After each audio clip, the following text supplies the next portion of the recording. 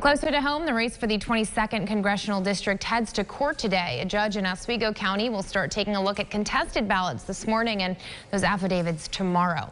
A razor-thin margin separates incumbent Democrat Anthony Brindisi and challenger Claudia Tenney. Now, Tenney currently leads Brindisi by just over 200 votes. That's by our count here. There are still enough outstanding ballots to be decided on by the judge that could end up swinging this race to the incumbent's favor or cement a win to Tenney.